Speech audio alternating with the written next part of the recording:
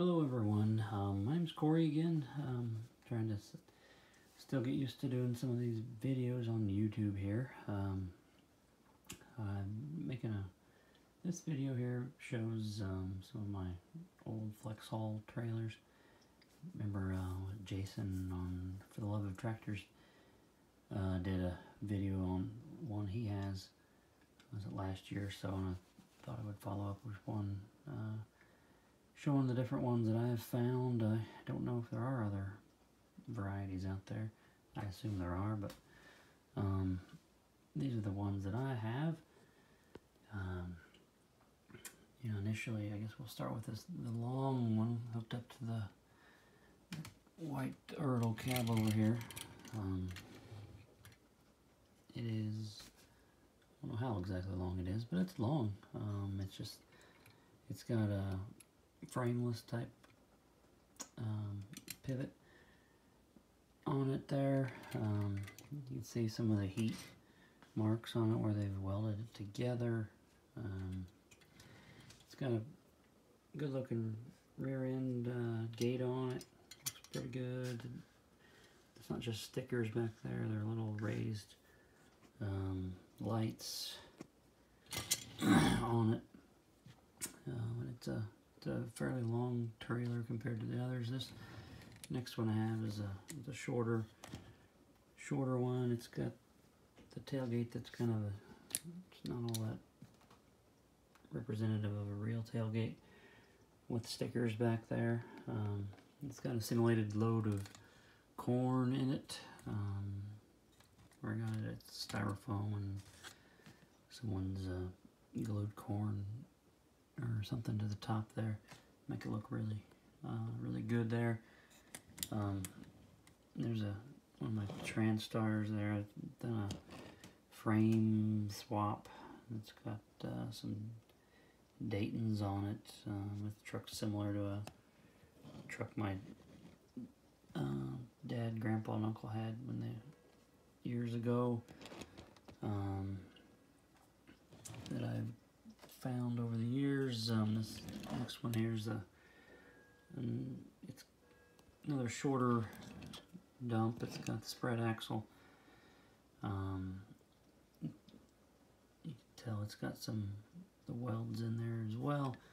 The frame raises up. This the other one I was looking at here didn't show, show you that. It just has the straight frame, solid there as well. No um, lifting mechanism or anything like that. Next one here is triaxle trailer. It's got the rear end similar to the that previous one. Uh, it's about the same length as these others. Um, got hooked up to a Fleetstar um, truck got a similar hitch or similar uh, um, frame everything there as well. And then uh, one more, it's a shorter, a little bit shorter than the others um, there. It's got a, a front axle, um, third axle, it's got a kind of a spring-loaded uh, mechanism there. It's kind of holds it up in there. I don't know how exactly it does that, but it must have a spring attached um, somewhere down there. I can't see it. Um, it keeps it raised up